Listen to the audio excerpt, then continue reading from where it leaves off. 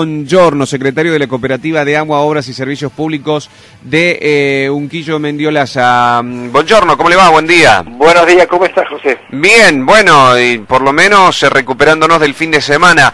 Eh, ¿Hay complicaciones también desde el ámbito de la cooperativa? Y se pueden imaginar que sí, porque este, las corrientes de agua han sido muy fuertes y en aquellas calles de tierra sin cordón cuneta de cemento, ha comido de tal forma la vereda que ha cortado muchísimas eh, chicotes de conexiones domiciliarias.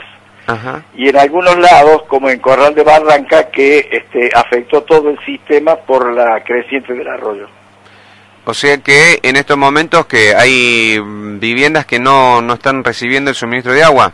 Hay algunos, no, no, este, hay algunos lugares que por supuesto todavía no están recibiendo normalmente el suministro de agua, pero en general está bastante bien para el problema que este, eh, generó los 136 milímetros que llovieron en dos días aquí en nuestra ciudad.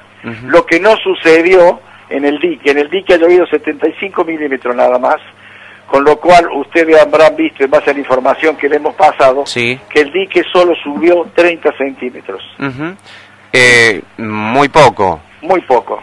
Muy poco. Incluso por ahí eh, recibíamos esta cuestión de algunos eh, algunos pedidos que de averiguar por qué era el tema de que no no subía eh, el dique, pero esto tiene que ver con que con, con las vertientes, con, con el suelo.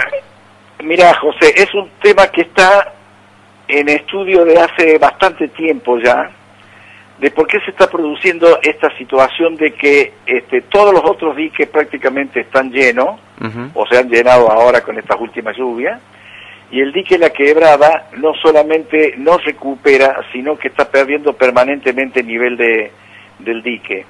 Este, es una preocupación que ya está a nivel de autoridades mm, del Ministerio del Agua, este, porque hay varias teorías sobre esto, hay varias teorías sobre esto donde este, no se puede confirmar ninguna todavía. Pero es una preocupación de este, el ente rector del recurso hídrico. Bien. Bueno, eh, entonces, eh, ¿cuáles son las recomendaciones o cuáles van a ser las tareas que va a estar realizando la, cooperativa si es que ya no la están haciendo? Bueno, primero, este, reiterar de que está prohibido lavar las veredas e inclusive lavar la calle, la, la, la, avenida San Martín, Hemos estado viendo que está este, gente limpiando la, el, barro de la calle, no de la vereda. La vereda ya limpiaron ayer, limpiando la, calle con agua agua potable de la cooperativa. Claro, eso es eh, no se puede entender. No se puede entender, no, no se puede entender. No es que no, lo, no, es que no sepan de que no se debe hacer, bueno, bueno, es un problema de cultura. Pero habrá que solucionarlo de alguna manera. Eh, bueno, ¿y lo otro? Bueno, lo otro es que este, la distribución está normal, está normal en todos lados, tenemos agua suficiente en todas las cisternas, este, y salvo aquellos casos puntuales donde hay este, roturas de conexiones este, domiciliarias, los demás servicios están normal. Bueno, el día viernes nosotros nos, eh, después de, todo lo ocurrido, eh, estábamos eh, transmitiendo y cronicando, bueno, todo lo que había dejado la, la intensa lluvia y sobre todo el, aluvión que se, se, vivió por la San Martín, de algunos vecinos de Villa Aurora, por allí, que estaban sin, sin agua.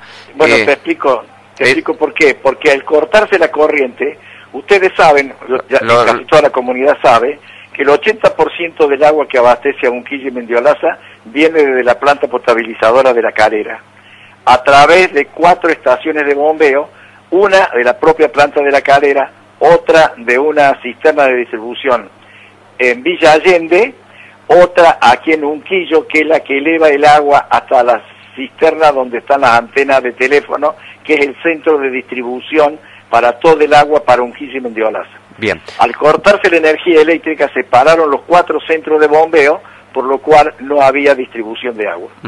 Bueno, eh, era lo que suponíamos nosotros, dábamos eh, esa como una alternativa más eh, concreta, pero por supuesto que sin duda siempre vale la pena consultarlo porque por ahí eh, pueden ser otros factores también los que genere la falta de, suministro en los eh, hogares.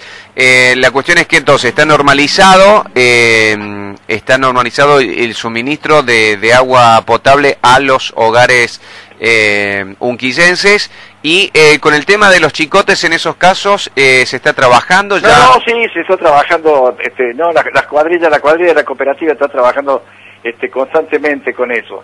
El problema un poquito más delicado lo tenemos en Corral de Barranca, que está la gente trabajando en esa zona. Bien. Eh, Oscar, como siempre, un gusto charlar con usted. ¿eh?